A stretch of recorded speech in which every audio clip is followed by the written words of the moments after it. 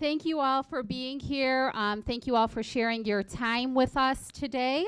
My name is Suzanne Nasser, and I'm a full time um, faculty member in the Counseling and Career Development Center. I'm also the chair of the Domestic Violence and Sexual Assault Awareness Committee that runs out of the Counseling, um, counseling Center. I'd like to thank my colleagues, Sharon Brennan, who's in the back there um, setting up our resource table. She also serves on the um, Domestic Violence and Sexual Assault Awareness Committee with me. Um, and I'd also like to thank Amal Jarad, um, who is not here today but also serves on that committee. On behalf of the One Book, One College Committee and the Counseling and Career Development Center, I'd like to welcome you all to our panel, Following a Sexual Assault, Information for You or Your Loved One. This panel will focus on how to support survivors following a sexual assault and will include perspectives from our wonderful panelists here, who are a group of advocates, health professionals, and college staff. Before I introduce our panelists, I'd like to acknowledge that a couple of my colleagues from the Counseling Center are here with us today in the audience. Um, Anna Coco, if you wouldn't mind standing up and saying hello to everyone. Um, I believe Teresa Hannon is either here or on her way, and Shania as well. And of course, I and Shania is right here to the left of me, and Sharon Brennan is here as well. Um, you know, we understand that this topic is not an easy one to discuss, and I want to emphasize that our intention in unpacking the dynamics of sexual assault um, and having an open and honest dialogue about it really is to create a sense of community, to build support and safety for all of you. This is not to undermine or to minimize the fact that this topic is a heavy one perhaps a scary and emotional one for some of you. So please, if you feel the need to see one of our counselors, they are here and they are ready to support you. Also, at the end of this panel, please feel free to pick up um, on your way out. We have a resource table um, at the entrance of the library, so please feel free to pick up some resources for you or a friend. Um, before I turn it over to our panelists, and thank you for being so patient, um, I thought it might be helpful for us to set the tone and the context for today's discussion um, by sharing a few statistics and um, defining some terms. Last week, Sharon and I did a um, presentation right here in the workshop, but we understand that some of you um, were probably not in attendance. And so, to kind of put things into context, again, I thought it might be helpful to share some information. Um, so some statistics as they relate specifically to college students, so not the general population, okay? Um, we know that one in five, so anywhere from 20 to 25% of women um, on college campuses are sexually assaulted. One in 16 men are sexually assaulted while in college. One in four transgender students have experienced a sexual assault since enrolling in college. And we know that more than 90% of sexual assault victims on college campuses do not report the assault.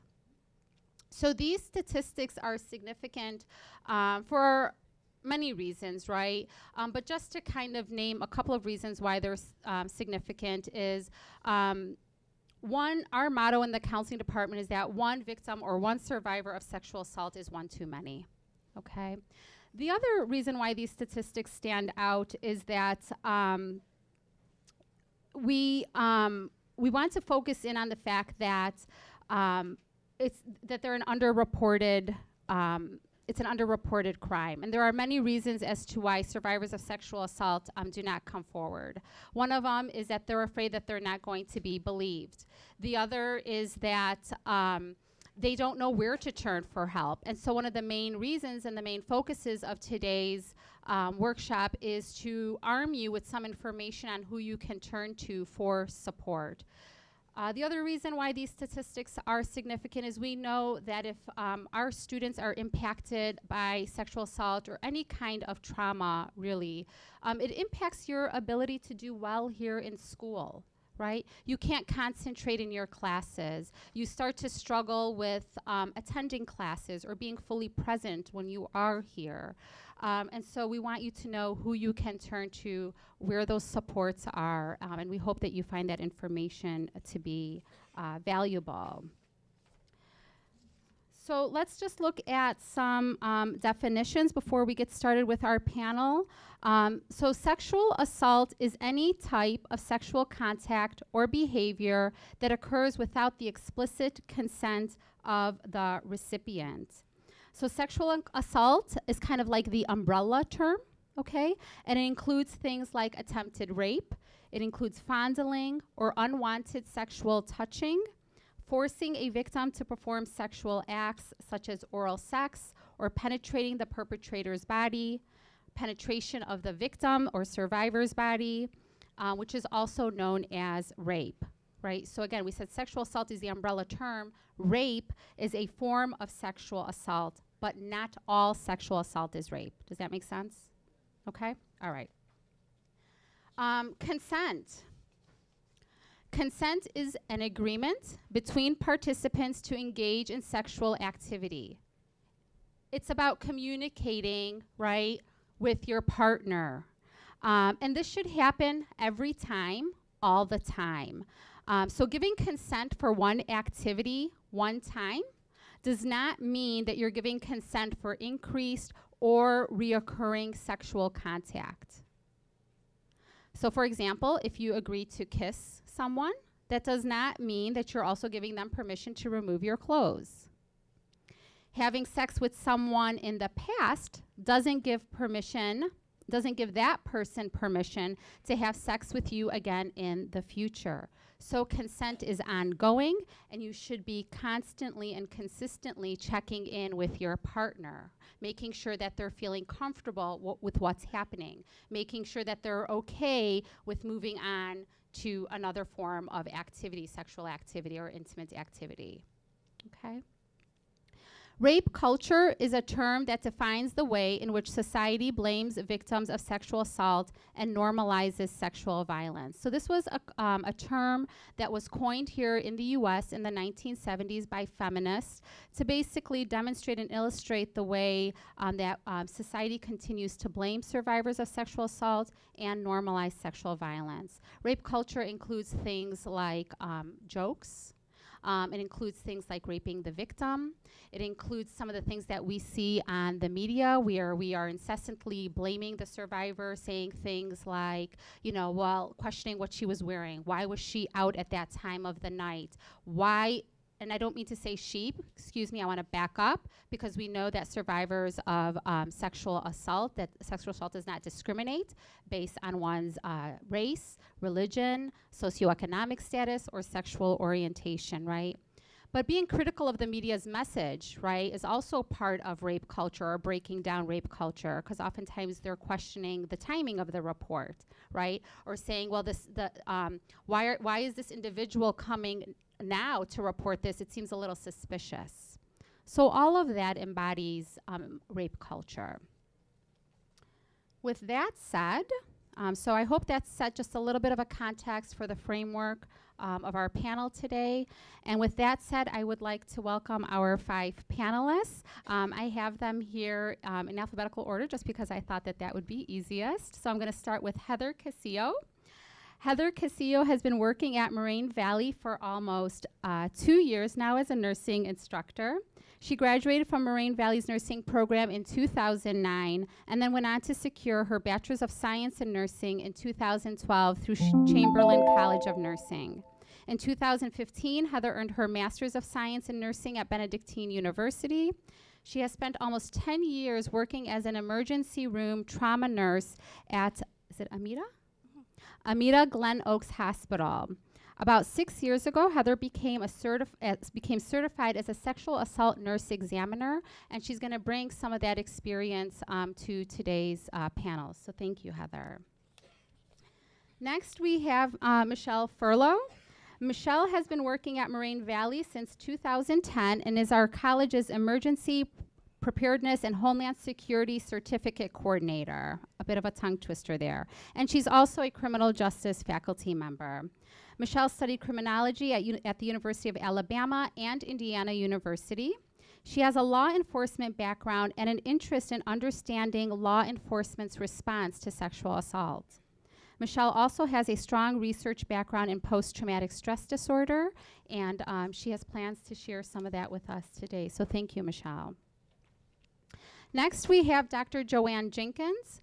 Dr. Jenkins is currently serving as Dean of Student Success and is also the Title IX coordinator here at the college.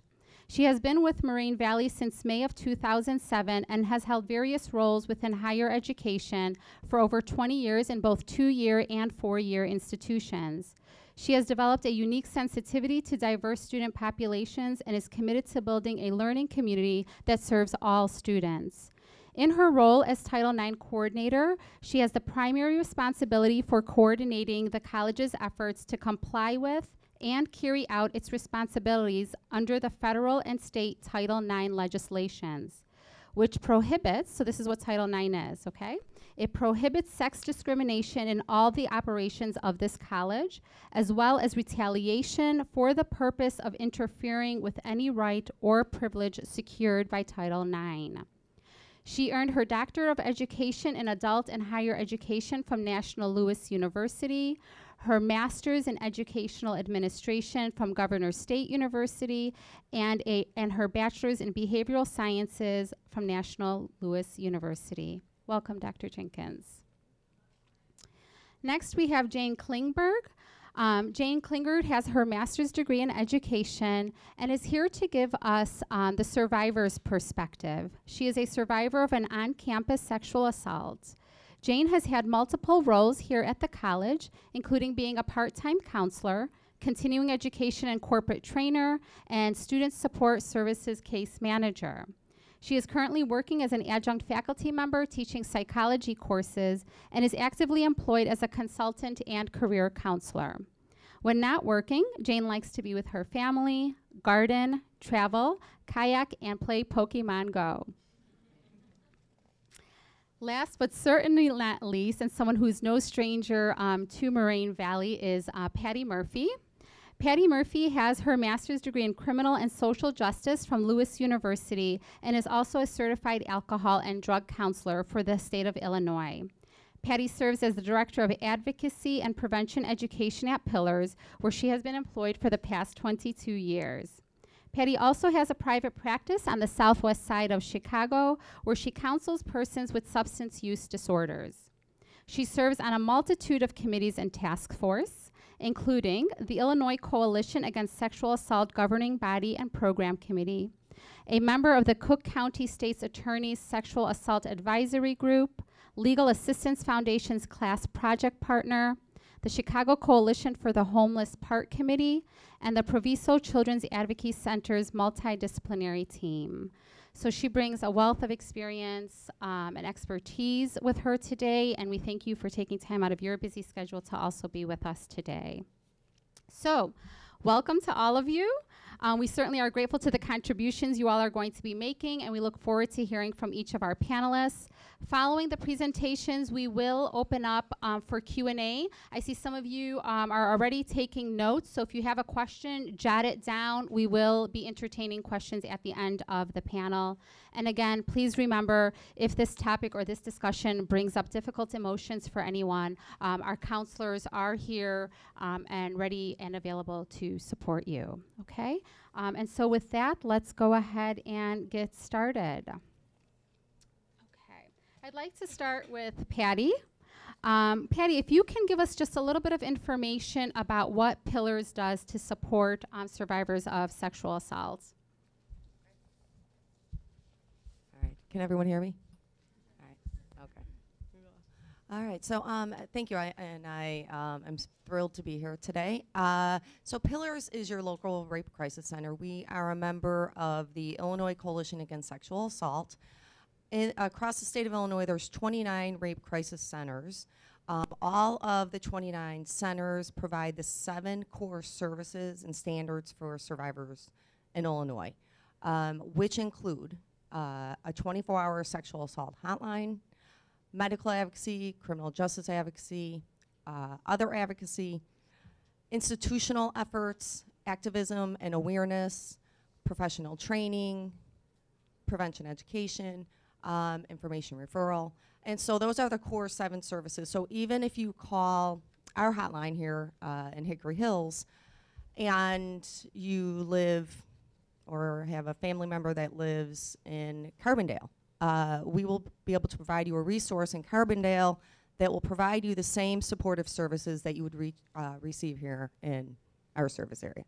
So, Pillars, we have a 24 hour sexual assault hotline. Now, that is a conduit for all of our services. So, survivor services, significant others, other professionals, as well as medical, criminal justice, and uh, educational institutions. Um, so, what we provide through that hotline, 24 hours a day, seven days a week, is immediate response within 15 minutes um, of a call for service. So, for example, if you are looking for uh, support groups in the area, or you were looking for information even on a uh, for a class uh, research paper, give us a call. Um, you will phone our hotline within 15 minutes. You will get a call back from an advocate um, that will provide you resources, options, crisis intervention, uh, as well as um, I'm trying to think of what else we do on there. Um, okay. The medical advocacy, Right. right, for survivors of Right. sexual assault. So also, we work with seven area hospitals. Uh, we provide on-site crisis intervention and advocacy to seven areas, seven hospitals in the area. So it's MacNeal, Lagrange, Loyola, Westlake, Oak Park, Gottlieb, and Metro South. So those are the, our contracted hospitals. What happens is um, when a victim of sexual assault or childhood sexual abuse prevent, present in the emergency room to get treated for injuries or have evidence collected, they phone our hotline and an advocate will be dispatched to the emergency room within an, within an hour. Um, we also work with all of our SANE nurses, all of our doctors, law enforcement, and state's attorneys uh, to ensure that all of our survivors have options going forward after their assault, as well as provide resources and follow up.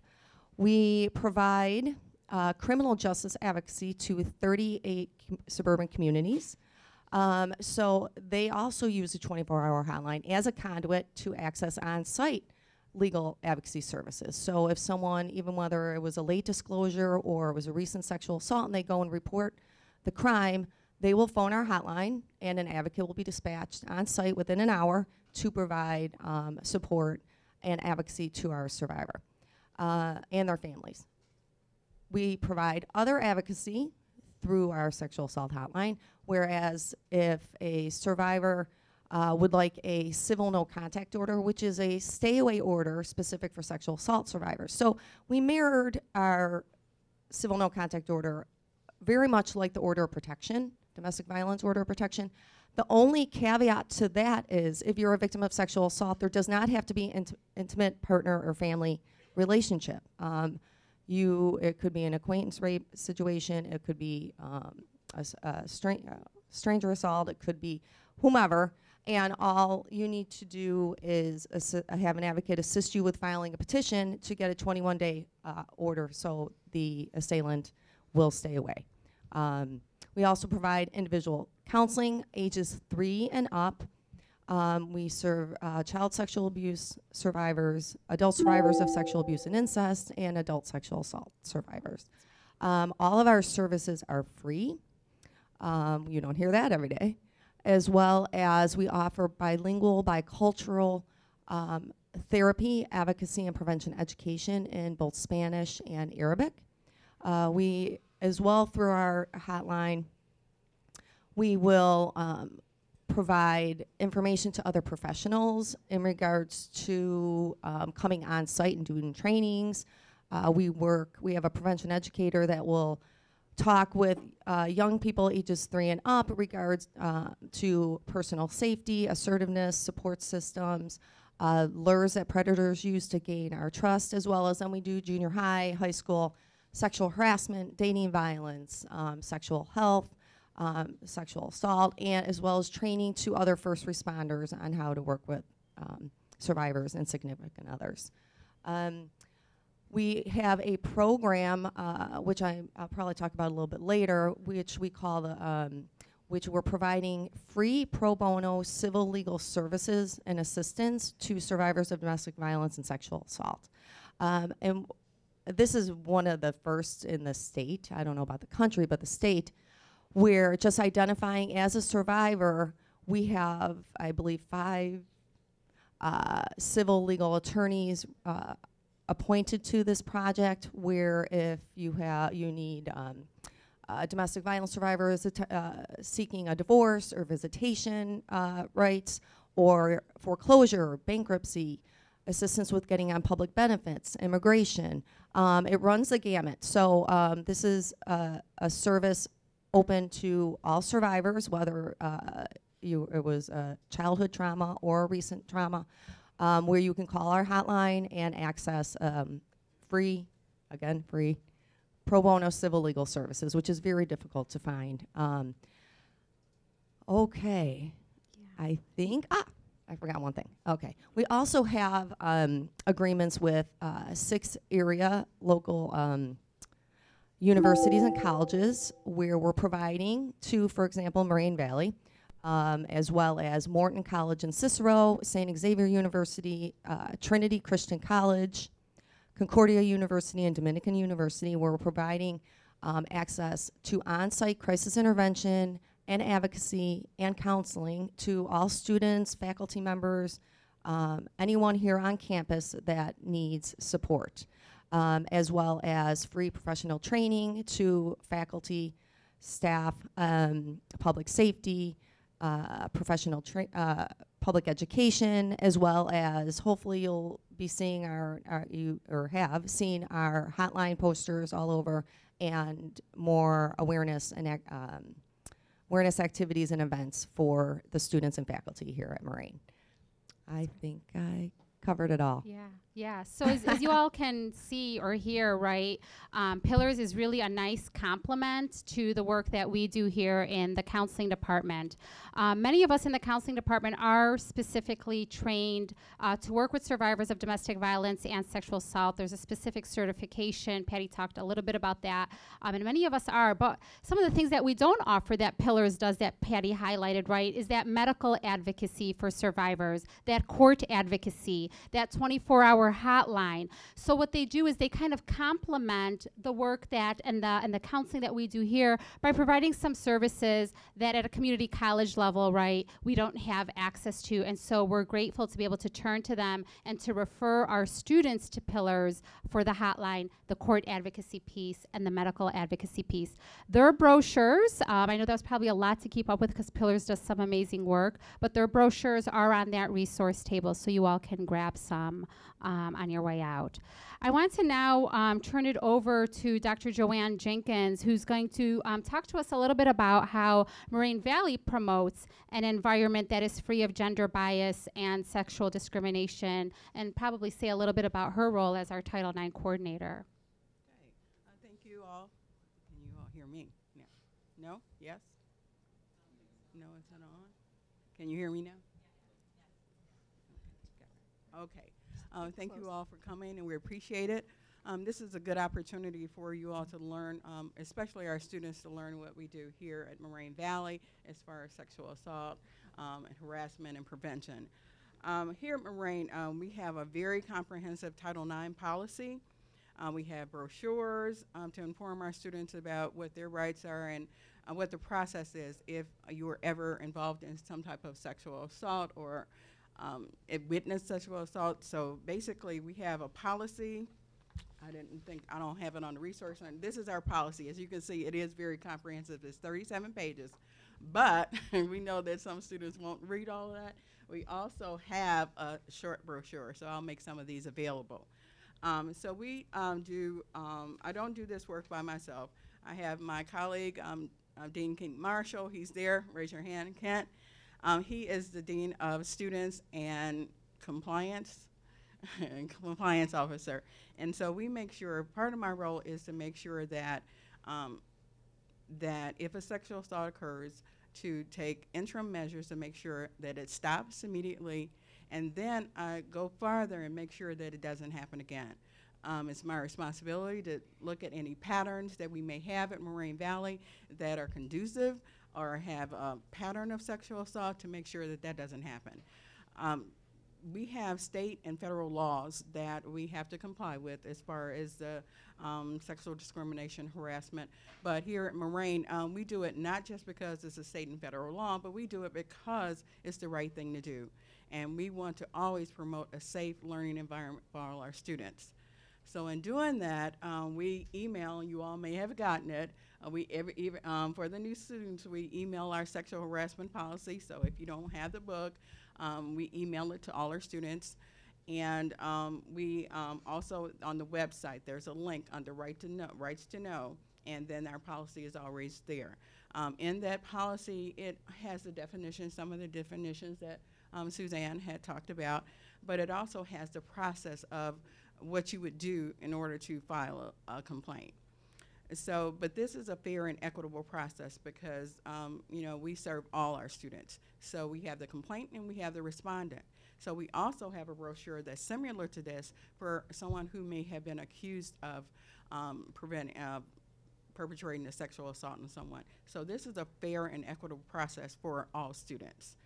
Um, we also have um, designated staff members in addition to Dean Marshall that have been trained. We've all gone through ex- extensive training and we are required also to do additional training, eight to 10 hours a year um, in these areas. So we have um, designated people who can refer you to either me or the resources. We have compiled a list of resources for students both on and off campus.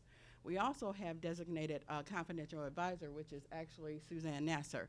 She um, is an advocate for our, um, and she has been trained in sexual violence, and the students can come to her if they don't want it to go any farther, or any of our counselors. They are there to provide the support for them if they don't want to um, go any farther with this investigation. Thank you, Dr. Jenkins. So again, just to kind of recap um, some of the points that um, Dr. Jenkins made, right, is um, we talked a little bit at the beginning um, about how um, sexual assault, and not just on college campuses, but in the general population as well, is really an underreported crime. And we talked about how students or people, survivors, are afraid to come forward. They're afraid of not being believed. Uh, they're afraid of the process. What does it look like? Or they don't know what the process of coming forward and reporting looks like, how long it takes. And what Joanna's pointing out, what Dr. Jenkins is saying to you, is here's who I am as the Title IX coordinator, here's who Suzanne is, and the rest of her team in the counseling department as confidential advisors. You can go and talk to them in a safe, supportive, confidential space. And if you wanted to kn- know more or learn more about your resources and what support um, Dr. Joanne Jenkins' office can offer you, um, then we can offer you that information. Um, I do want to point out that the brochure she, um, yep, that we do have that on the resource table. We also have the one for the accused. Um, so uh, please, again, um, feel free to pick up those brochures on your way out. I just want to ask um, Dr. Jenkins to say a little bit something about the difference between us as a confidential advisor if they come and talk to us in the counseling department and how that differs if they were to confide in a paper or in person to their teachers um, that they are a survivor, what the difference is between a responsible employee and a confidential advisor. Um, uh, Dean Marshall and I also um, do training for all our faculty and staff members. Uh, they're considered um, responsible employees. That means that if um, you were come to your teacher or even um, a staff member or a library assistant and you tell them that you've been a victim of some type of sexual assault, then they are required to let me know. So I can follow up with the student and make sure that the student is safe and that it doesn't happen again, or to provide whatever interim measures. Say it happened in a classroom, then uh, we wouldn't want you as a student to be in a classroom where someone has been um, abusive to you or sexually assaulted you. So um, they need to let me know, and we are under time constraint on how uh, the state and federal government has a time constraint on how quickly we have to respond. So we have we um, provide training to all our um, faculty and staff um, in order to let them know what the process is for letting me know, um, and so I can follow up or one of my team to follow up with the sexual assault. Um, for I'm sorry, what was the other question you said? Just the difference between a responsible employee and a confidential advisor. I think you. So the responsible employee, as I stated before, uh, they have an obligation. They are required to let me know. um, if you come to them with any type of, um, or if you see you saw someone, they're required to let me know, and we have to follow up with that student. Now, it doesn't have to go any farther than me, but the responsible employees are required to. The counselors, however, by the nature of their trade, um, that's confidential. They don't have to, unless there are a couple requirements. Um, if it involved a minor, if it involved a weapon, then they have to um, let us know. But um, by the nature of what they do in their licensure, um, you can go to them and confide in them, and it, it goes no farther. They tell no one. Uh, now, if you decide to take the next step, then that's fine. But um, there is um, a place where you can go that's safe, and you can just, if you just wanted to talk about it or receive additional resources, then the counseling department and the confidential advisor is the place. But if you tell anyone on campus, you know that that um, don't that is not in the role of counselor, then they are required to actually um, tell me. Thank you. Thank you for clarifying the difference between um, those two roles. So now that we've spent some time um, looking at what our community offers survivors um, sec- of sexual assault and what we offer in-house, um, I'd like for us to take a look at uh, when we think about what a survivor of sexual assault looks like, or when we think about the different reactions uh, to an assault, they really do vary, right? They vary based on the individual's life experience. And so um, I think um, Michelle, maybe Heather, and even Patty, if you all can um, address um, how does an individual's different life experience influence their reaction to being assaulted? I'll get, s- I'll get started with that question in that, um, even before the reporting process starts, an individual's life experience is going to vary in how do they perceive no. You know, we talk? Oh, a little bit better. Trade.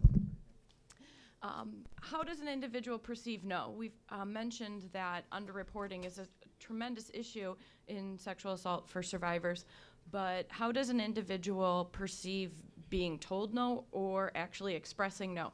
A common myth in sexual assault is that the no is clear, it's physical, it's something that can be identified. But when we add in the complexities of life, uh, being fearful of confrontation, wanting mm, to be polite, um, being afraid, being intoxicated. No isn't necessarily a very clear, bright line in the sand.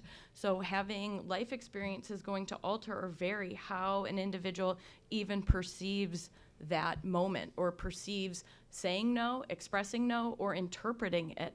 Um, another, in, uh, I think, an important aspect of life experience is attitudes towards the police department. Um, in law enforcement, we look at the investigative process as the sooner it starts, the better. The sooner we can start getting witness statements, the sooner we can understand from the victim who, what, where, when was involved, collection of evidence. Um, and sexual assault doesn't follow a specific timeline. Often we find that individuals who've experienced trauma don't recall facts in a straightforward or even linear way.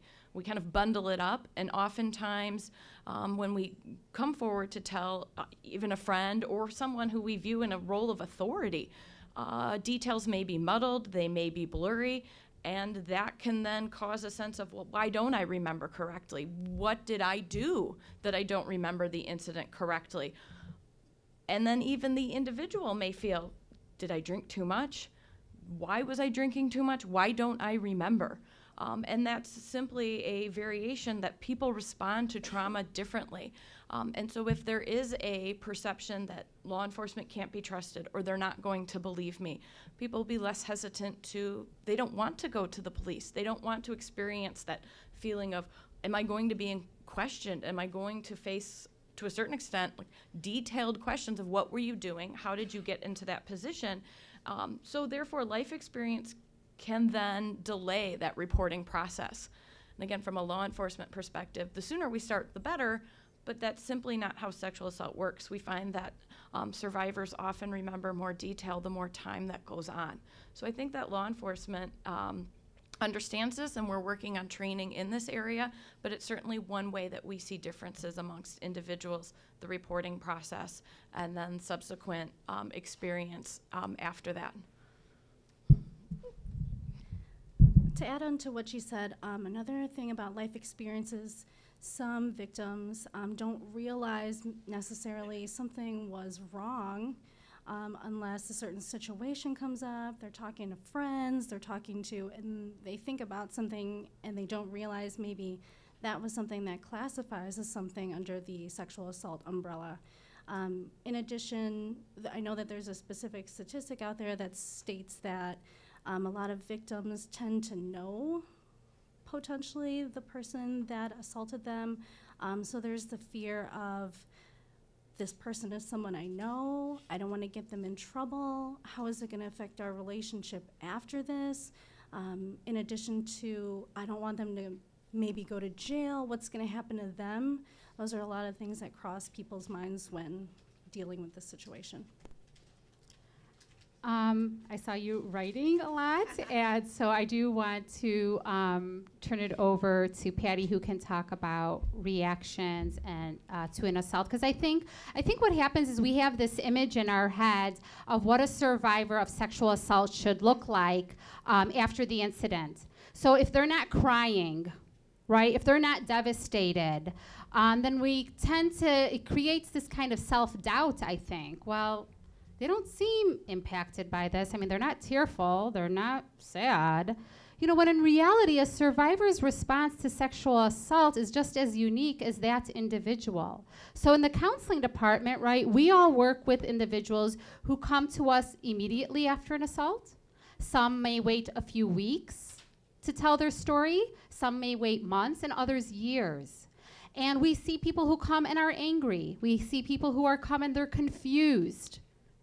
We see people who come and they're in shock, especially when that um, assailant, that perpetrator, right, was someone that they knew, right?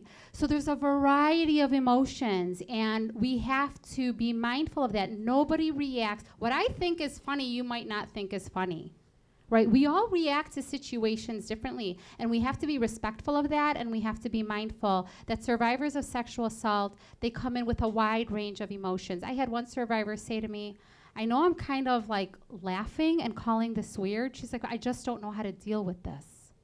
I don't know how else to react. This is somebody that she knew. She was assaulted by somebody she knew for a very long time. So I do want to turn it over. And the other thing I want to add is this thing about consent, right? Um, individuals, right, cannot consent if they are under the influence right? If they've had alcohol in their system, if they've had drugs, um, well, drug is an alcohol, right? But other kinds of substances, they cannot consent if they are under the influence. Um, so I know Patty's going to have a lot to also add to this, so please. Um, ano- another thing in regards to consent. Um, anyone under the age, in, at least in Illinois, our Illinois sexual assault statute, which is, by the way, one of the strongest in the country, um, and uh, anyone under the age of 17 is unable to knowingly give consent to any sexual activity, uh, as well as um, persons with um, uh, either uh, physical or um, intellectual disabilities um, are not able to knowingly give consent. Um, what we, the importance of um, advocacy services in the emergency room are all of our panelists are, are and Suzanne are totally correct. Um, you will encounter no one survivor is the same. Um, you may have someone come in um, days later after a sexual assault with mulling over um, whether they um, over the consent issue, right? Um, as well as someone immediately after a sexual assault. Uh, what we see is a variety of emotions. Someone could be laughing, someone could be very angry and swearing. Someone could be acting very nonchalant about a situation. Um, or sometimes I'm just sitting there um, with a survivor not saying anything.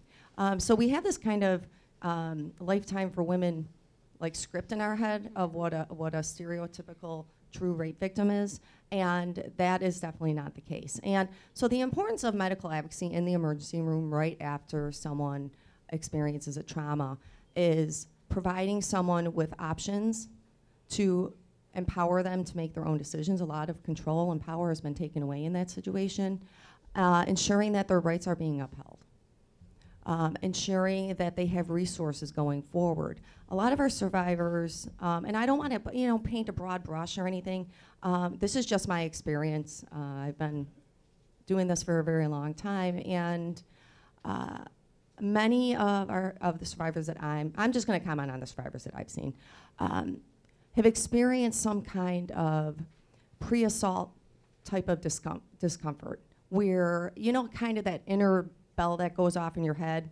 We're yeah, we're like in your instincts, and um, we're not, and we experience that in all situations, right? Not even just in a, a, a trauma situation, where we blame ourselves for not trusting our instincts. And so a lot of our survivors felt like something was off, or something was said, or something was done.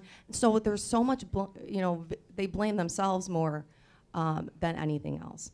Also, the reaction of loved ones, significant others, the reaction of medical personnel or law enforcement, what are their reactions going to be to the situation that I'm in? So a lot of the survivors I've worked with were more concerned um, with how their mother was going to react to the situation than to what they were experiencing. So a lot of a lot of kind of um, projection um, on so um, the importance of, I'm just going to go again, on the importance of having an, a medical advocate present is so you're more comfortable going through a process when you have all the information needed to make informed decisions.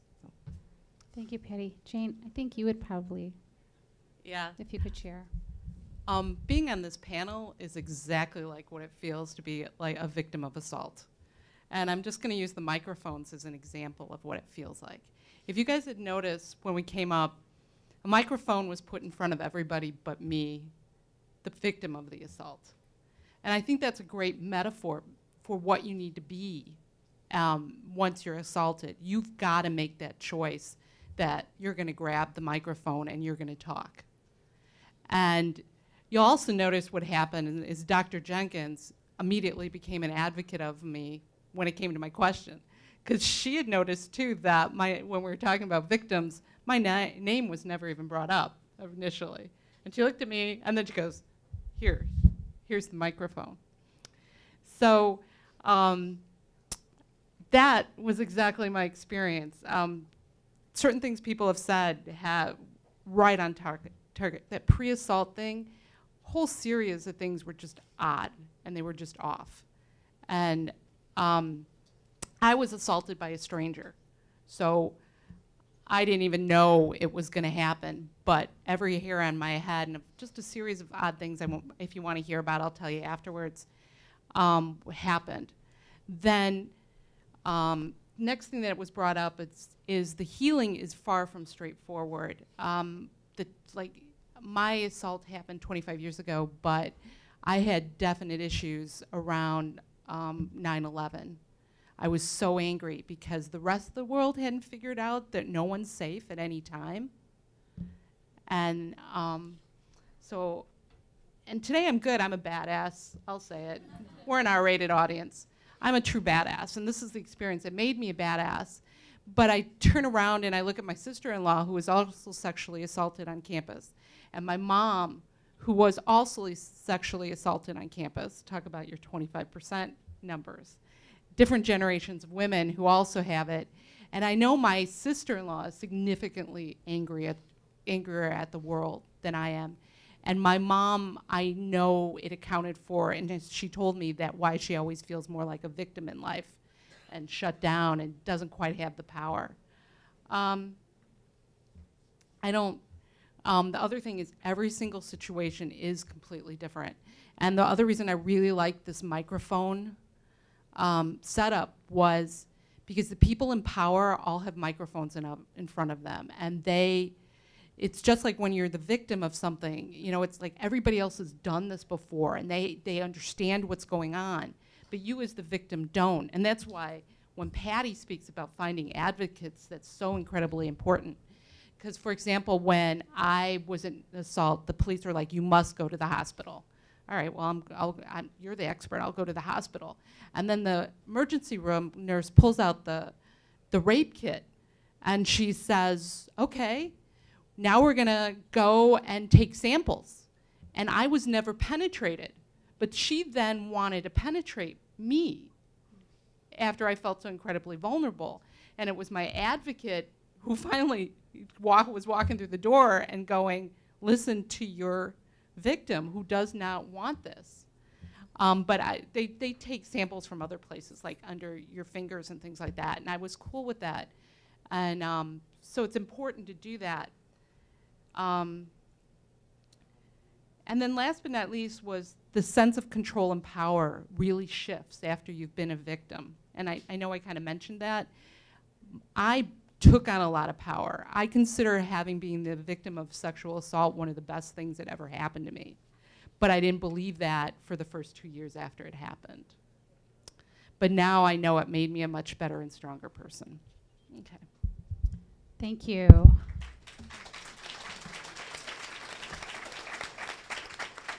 You know, I really want to say, um, and I said this last week when Sharon and I presented, that survivors of domestic violence and survivors of sexual assault are really um, the most bravest people that I've ever met. And it does take a lot of courage and it takes a lot of strength uh, for someone like Jane to come forward in a packed room like this um, to share her story, to tell her story, so that we all can um, not feel alone if we are survivors, and so that we can also learn um, in this space together what it means uh, to be a survivor and a badass.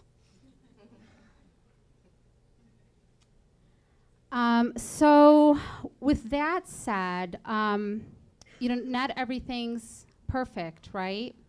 And so, when we come forward um, to report, we might have these expectations in our head of what that reporting process is going to look like. Um, so if we can just spend some time to unpack um, what um, are some of the problems or the challenges that currently exist um, in the legal system regarding sexual assault and offer up some improvements possibly. Um, Michelle, Jane, I don't know if you also went through the legal process and had some um, things to offer up. Um, so if either one of you would like to get us started, that would be great. Notice me grab the microphone again. Um, my experience with the legal system was that within two weeks of after the, the assault, they had kind of given up on the investigation of my situation. Um, it never went to trial. Um, and that alone is interesting to deal with, even this many years later. You know, you've got to learn in all of this that they're not going to solve every single case. They're not going to fix every situation, especially when it's a stranger assault. Um, but that's okay you know, because everything has a really positive. You can. There's a movie out with uh, Will Smith called "Look for the Collateral Beauty," and and I've since had to deal with the legal system several other times for a variety of things. I think the best thing, if you're the person dealing with the legal system, is to try to always look for the collateral beauty in all of that is occurring, because it is an incredibly difficult thing to make work a society that people follow the laws and laws are enforced. I would just add for the criminal justice students and those interested in how the system works, we're really at an interesting point when it comes to looking at laws. As Dr. Jenkins mentioned, here at the college we follow Title IX. That is a different process than the actual legal system and they have two different standards of evidence. Title IX uses the preponderance of the evidence, which means it's more than likely than not that the accusation or the event occurred. So essentially, it's a lower standard, whereas the legal system needs more of that clear and confirmed or concise, that beyond a reasonable doubt, if you will, to move forward. Now we're seeing some political discussion that those processes might change um, and it does have political overtones to it, but because they're two separate systems, that can be complicated. So I wouldn't necessarily say there's anything wrong with Title IX in and of itself, but the fact that it's confusing, it's very complicated. It was instituted, I believe, in 1972, and then got a little bit of a a, a kick in the pants in 2011 when um, the Obama administration sent out a uh, what's known as a dear colleague letter and told the colleges and universities you are going to pursue um, allegations of sexual assault um, otherwise, it is a violation of, of your student civil rights, and that there were going to be serious consequences to that. And now we're seeing political discussion that that may be rolled back. Um, so, like I said, there's political overtones to it, but it's a complicated process. Um, and what we're seeing as the result of that, it being so complicated, there's discussion that were accusers treated unfairly, were they denied due process as well. Um, as Dr. Jenkins mentioned here at Moraine, we're very fortunate that the system looks to uh, protect everyone um, victims survivors those accused um, but there's discussion right now is has the process worked in that regard um, so how that plays out it'll be interesting to see Does anyone else want to add to um, this question? I'll just add to it. Um, Professor Furlow, she's absolutely right. I just want to make clear that Title IX in the legal system is, there are two separate processes. The college is required to investigate any, um, any reports of sexual assault. And then once we do that, through that investigative process, um, when we talk to the survivor or the person who's complaining or the complainant, then it's up to them. It can be the same process. It doesn't have to be. It's up to the complainant whether or not they want to pursue the criminal charges. So it's through that process. It's a process, and Professor Furlow was correct. It's a complicated process, but it's simple for you. Um, if you have um, a report of a sexual complaint or I mean sexual assault, then you um, come to me, and then we work through that process together.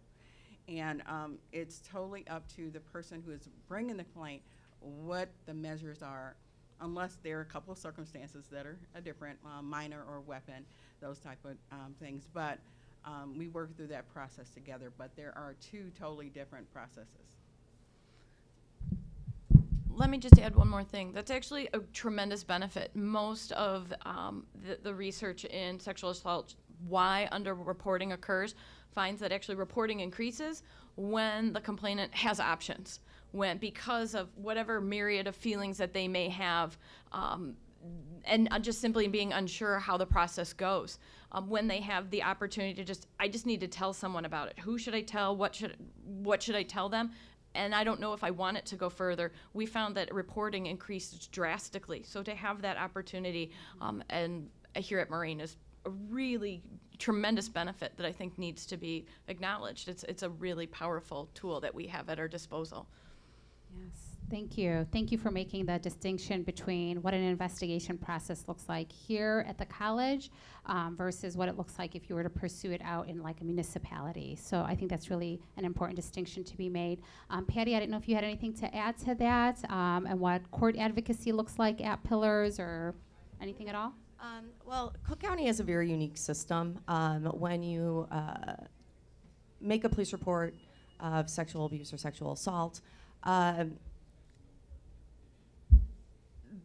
when a detective determines that there's enough evidence to go forward with a case, they will call the Assistant State's Attorney's Felony Review Department out to interview the survivor as well. And then that, the Assistant State's Attorney will determine whether um, the sexual, that the assailant will be charged with sexual assault or another crime. Um, we have court advocates that, uh, as I mentioned, um, legal advocates that will come to the police department to inform a survivor and their families of, of what to expect in the criminal justice system, what that looks like. And then we have court advocates that work at Bridgeview Courthouse, Maybrook, uh, 26 in California, and 555 West Harrison. Um, and they will um, go for a survivor, um, go on behalf of them, uh, keep them abreast of what's going on with their court case, um, assist with writing victim impact statements, ensure that their rights are being upheld, um, are there for preparation for trial, and they're during the trial process. Um, so our advocates will go for survivors so they don't have to take off work, take off school, uh, keep seeing their offender, and then they will let them know what's going on with each court proceeding. Um, uh, the average length of a court case here in Cook County is about two years. um, and that's uh, uh, unless a case is, is plea bargained out. Um, I always tell people my longest case was about seven years, um, and it, it did end up having a, a good resolution. Um, but the importance of having an advocate there is that they can inform you of what's going on, um, answer any questions that you have, as well as always um, uh, hook you up with more resources and support within the community. Um, and so that's, that's Yeah, that's, that's perfect. In a previous life, I actually used to be a court advocate for survivors of domestic violence. And I'll tell you, to be that middle person between the attorney and the survivor um, is really, as you pointed out, it, it has a lot of value. So we're really grateful that Pillars offers um, court advocacy. Um, for time's sake, and I think we already looked a little bit, you all kind of answered this question here. Um, I do want to turn it over um, to Heather a little bit to talk about her experience and her certification as a sexual assault nurse examiner and um, what does a medical forensic exam look like. Um, Jane touched on this a little bit. Patty, I know you talked about how Pillars offers medical advocacy um, and how a medical advocate and a SANE nurse works together. But Jane, if you could talk about your certification and what a SANE nurse's role is. Okay, so as um, we discussed, the SANE nurse stands for Sexual Assault Nurse Examiner. And these are registered nurses who are clinically prepared, educationally prepared um, to do examinations, talk with victims, talk with family members. Um, in addition to our best friends are going to be our medical advocates like Pillars. I primarily worked out in the western and northwestern suburbs um, in the emergency department. So Pillars is mainly for this area. So we worked with a different group of people. But absolutely, when I worked um, at Ingalls Memorial Hospital in their ER, Pillars was a um, one of the options for victims. So these nurses um, pretty much are emergency room nurses, critical care nurses, um, maternal nurses, but you can be essentially a nurse in any situation that can be trained as a SANE nurse. Um, SANE nurses are meant for anti-violence and trained as just. Um, regarding the medical forensics exam, um, we discussed that a little bit. Now, um, these are all things we talk to victims completely and thoroughly and everything that is potentially going to happen. Um, there is a kit that is required to perform these exams. Um, they are mandated what's in them. There's a whole legal process that also goes along with it, but the um, kit itself, um, essentially, it has documents, it has swabs, it has um, papers all meant for collecting envelopes. Um, and this exam can range anywhere from an hour to several hours, depending on the victim, the patient um, would like to do.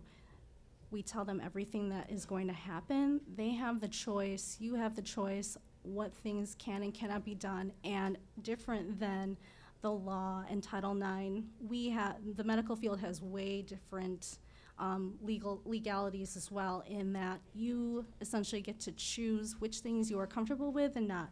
We talked about um, scrapings under nails. We talked about um, certain exams depending on what the patient would like to do.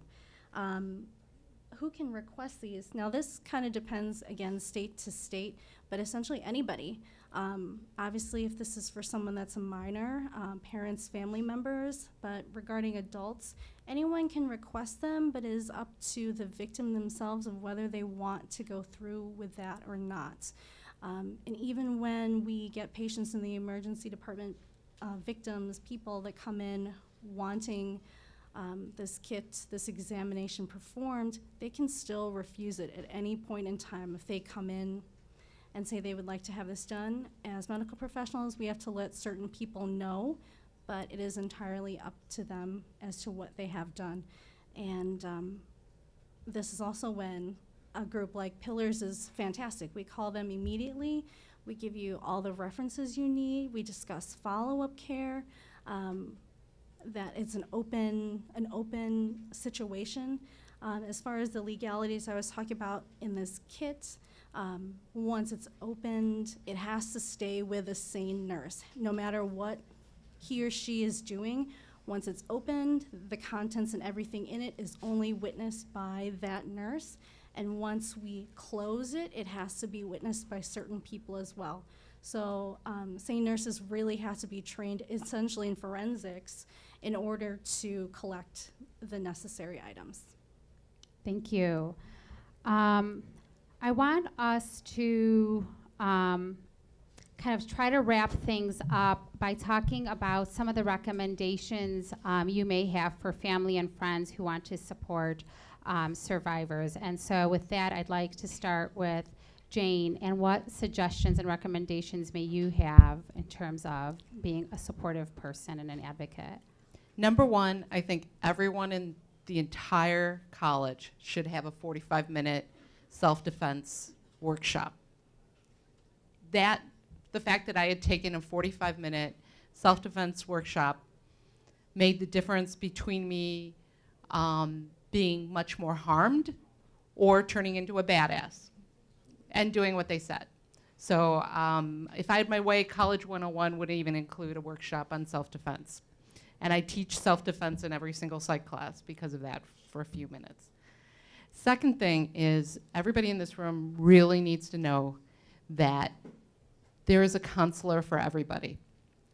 When my thing happened, um, I was referred to the counseling center, and the per- first person I saw, there was no chemistry between us. I wish somebody had said to me, just make an appointment with somebody different. Because I think I lost two good years of my life because I didn't have a good counselor immediately after it. It took me about two, three years to resolve everything. And uh, I think it would have taken me two months if I had seen a counselor. So I'm a huge advocate of the counseling center here at Moraine Valley because there's a variety of different people with a variety of different styles and personalities. Um, third thing, listen, truly listen. Let the person talk and truly listen and don't try to fix them. A lot of times people just need somebody to listen so they can get the thoughts out of their head and understand and process what's happened to them. Um, expect the unexpected too from them. You'll, in my situation, I had suspected my mom had been assaulted in college, but didn't know that for sure. And I absolutely had no idea my sister in law had also been a victim of a rape in college by a known person. Um, and I guess that would be me, my stuff.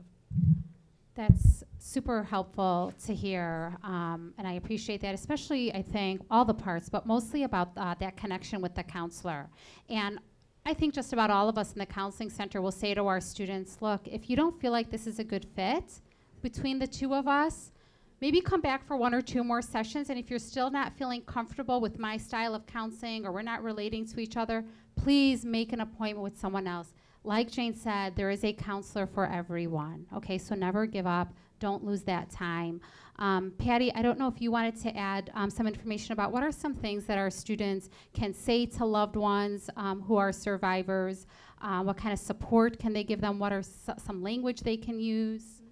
Um, uh, the I think the first and foremost thing to say to a survivor um, when uh, someone first discloses their assault or past trauma is um, it wasn't your fault.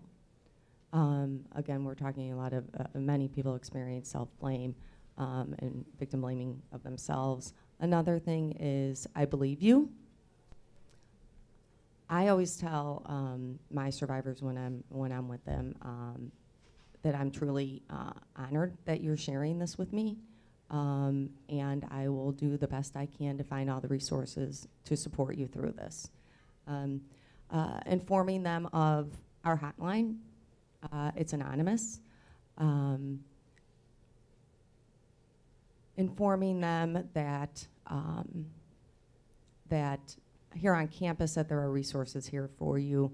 Um, definitely seek out um, a therapist and a counselor that you connect with definitely.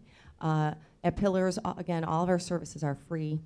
Um, if you don't live in the area, call anyway. and we'll find resources for you wherever um, you live.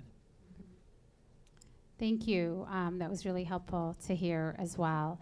Um, what I'd like to do now is, um, if I can, if I remember what Troy told me to do, um, is I'd like to show you all, and some of you may have seen this before, but I thought it would be a um, nice way to close out. First of all, can we please give a round of applause to our amazing, amazing panelists?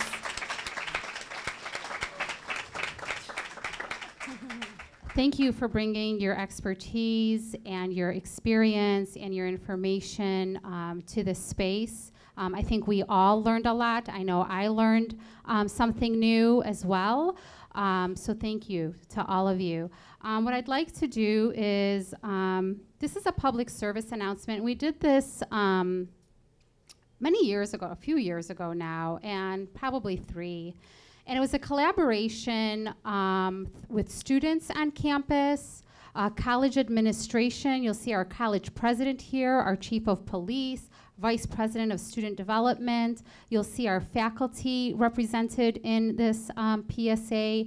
And um, let's, you know, let's, let's watch it because I think it's a nice way to kind of um, close out the session, which, you know, is a bit heavy. Um, and this is just our way of letting you all know that uh, we care about you, that we believe you, um, and that we are here for you.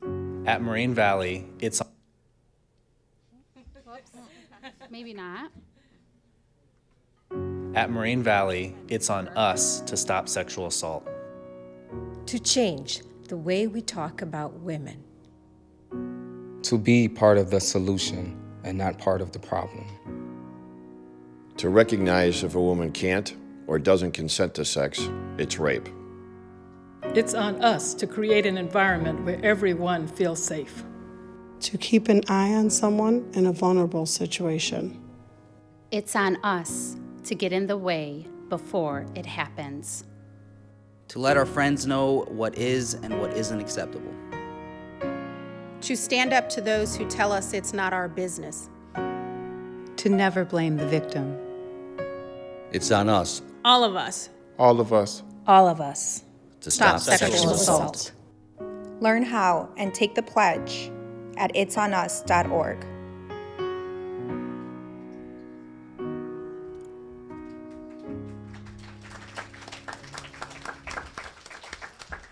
We have a few minutes for Q and A, so please don't just jump out of your seat just yet. I know most of you are in class until 1:45, so if there are any questions, we'd like to go ahead and take them from you now.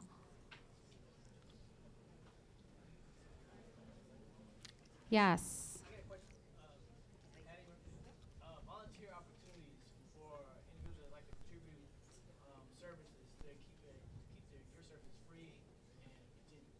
Um, for contributions, you mean, or for your time? Yes, we would prefer, actually, um, I mean, money is always good, but um, actually at Pillars and all your other rape crisis centers across the state, uh, we value your time more than the money. Um, the philosophy of the anti-rape movement um, is women and men helping each other. And so to have a, the mandate of our funding to be a, rape, a certified rape crisis center in Illinois is that we have a viable uh, core of volunteers that act as first responders on our sexual assault hotline. So on nights and weekends, uh, your first responders are going to be other well-meaning, caring, compassionate um, citizens. And so uh, all volunteers go through an intensive 40-hour sexual assault training and are supervised, supervised by staff, provide uh, um, on, on uh, cons- consistent guidance and continuing education. Um, also, men um, who are uh, want to be active in the movement. Um, I'm training to do to co-facilitate uh, prevention education in junior highs, high schools, and college settings. Um, enga- being engaged in our new Male Ally initiative, as well as uh, reaching um, other men and boys um, and community members and being more active um, in the issue of sexual assault. So come on up here and, and uh, I'll get your name. On that note, I'd like to invite if you uh, you have a question, but I'd also like to invite Carrie, if you wouldn't mind um, coming up here in terms of being able to support agencies um, that provide work specifically uh, to survivors of domestic violence and sexual assault. There is an event happening here on campus, and I'd like um, Carrie to talk about that. And there are brochures um, on the table for it too, but she's going to go ahead and make an announcement. Yeah, my name is Carrie. I work at the Crisis Center for South Suburbia. We're a local domestic violence shelter here in Tinley Park.